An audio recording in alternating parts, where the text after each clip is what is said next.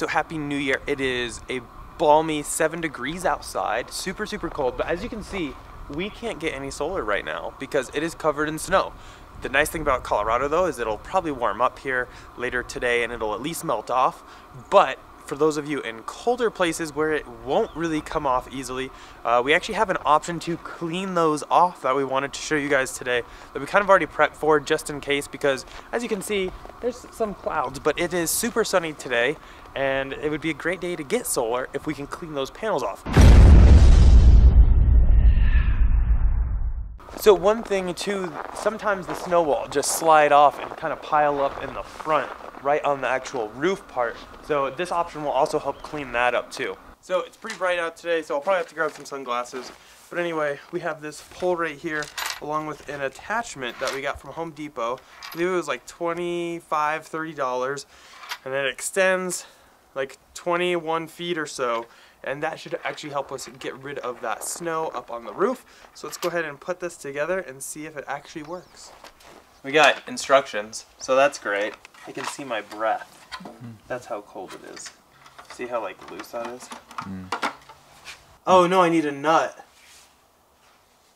So they have zero nuts? Zero nuts. Mm. It's, and it's supposed to have nuts? It's supposed to have a nut. Huh, that sucks. Okay, so per the instructions, we are supposed to have two screws to attach these braces to this, and then one long one to go through here with a nut on the end. Well, we are missing said nut. So, just a singular nut, but we are missing it, and we probably don't have anything that fits this, because this is pretty fine thread. So we're going to go ahead and try it as is, see how it works, and we'll go ahead and get one from Home Depot or something later. But you can see it should hold on, it's just going to be a little wobbly. I imagine that's what that'll fix. I wonder if it has like a stop that it'll like, mm -hmm. uh, yeah it does, okay. Oh boy. That's only two of the sections out. Let's keep backing up. Oh man. This looks ridiculous.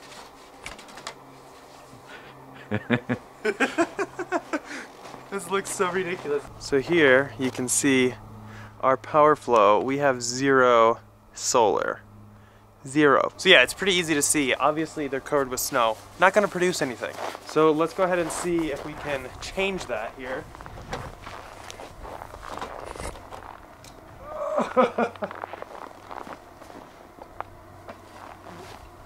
oh. Oh. right into the garage. Mm.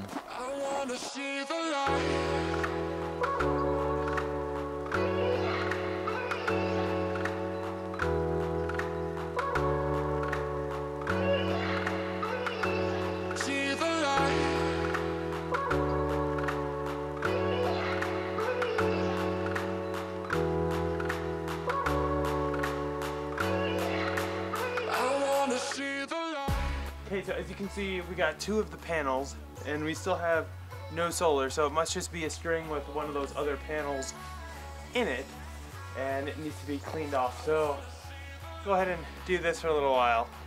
I don't know how this pole will work. It would be nice if maybe they had some kind of like reverse power so I could like heat them. That would be really nice. I don't know, what are your guys' ideas? Comment down below.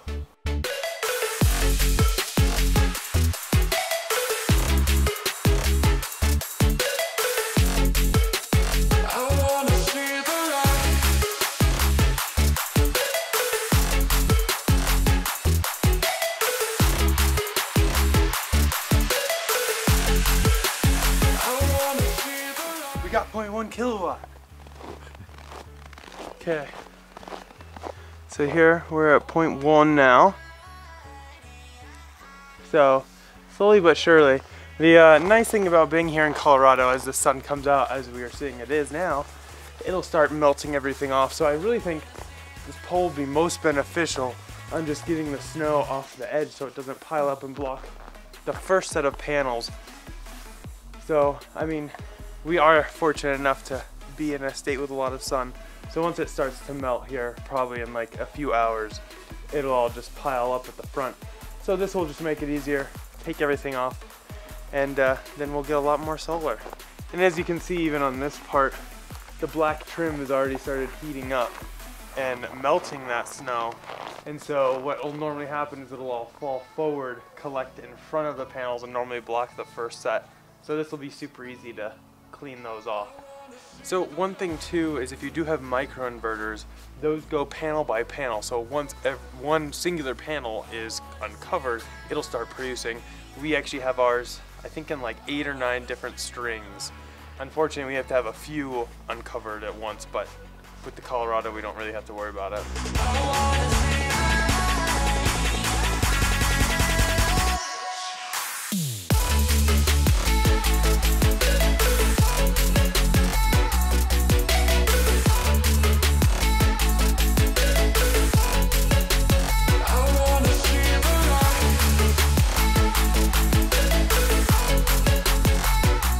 Here, I don't know if you can see, but these panels we just did, you can already see like little water droplets forming because it is already starting to like warm up and melt off.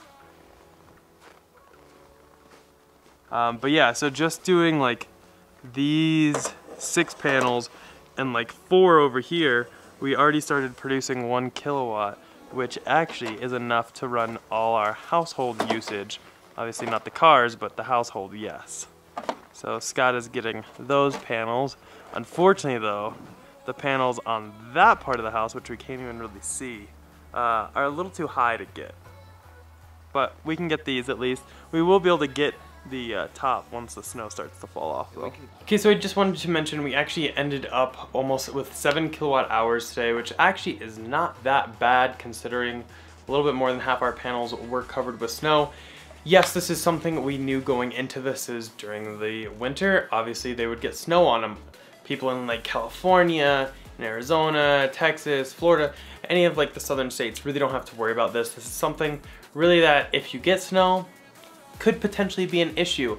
But we knew this going in, it was explained to us. Just kind of wanted to make this video and show you guys how we are kind of getting around it. Had a couple other ideas come up while we were doing this, so maybe in the future we'll address those. But for now, this is what we're gonna go ahead and keep doing should we need it. But the great thing about Colorado is the snow never really stays. Worst case, there might be a day or two of snow, but if the grid does go down, we have this option to where we can clear up those panels if we really need them ASAP to get us by. So it is great to still have the solar, super happy with it. This was in no way meant to be a video where I'm just bashing solar. I just wanted to make sure that came clear through the video and everything because I'm sure a lot of people are, will twist this and make this a negative on solar and it's not something that it should be. And before I send you back to Eric filming in the driveway in the freezing weather, just wanted to give a quick shout out to, to our channel sponsor, Abstract Ocean, who's really helping make all these videos possible for you guys. If you guys are looking to accessorize your Tesla Model SX or Model 3, feel free to use the link in the description and using code TESLA inventory, all one word at checkout will actually get you 15% off your first order. So definitely check it out. But I'll send you back to Eric freezing in the weather earlier today. Okay, well Scott finishes that up, we'll go ahead and outro this. Uh, yeah, so just cleaning off a few panels actually will allow us to totally use everything from the house, uh, from our solar, which is pretty awesome, as well as help put a little bit back into our power walls. And then as soon as it starts to melt a little bit, it'll clear right up probably in a few hours. I'll go ahead and leave the link in the description for this pole. Let me know, is that something you guys would use? I mean, I kind of figure it just is like most people will shovel their driveway. It's just we're kind of shoveling our roof. Luckily, we don't have to do our driveway, so we just do this instead. But yeah, as always, if you guys are looking for a Tesla, definitely check out our website, teslainventory.com. And if you're looking to purchase a new or inventory Model SX or Model 3, feel free to use our referral code. It's down in the description below. I'll actually get you six or nine months of free supercharging, depending on if you have taken a test drive or not. And if you are looking for solar, you can go ahead and use that link also and get five free years on your solar panel warranty, which is an awesome perk. And if you use it, definitely reach out to us via email so that way we have your contact information so when we take delivery of our next gen Roadster, we can invite you guys out, have a big old party, because really without your support, none of this would be possible, and we can't thank you guys enough. As always though, that's pretty much it. If you enjoyed it, smash that thumbs up button. Go ahead and click here to subscribe here for some other ones, and we'll see you in the next one. Bye.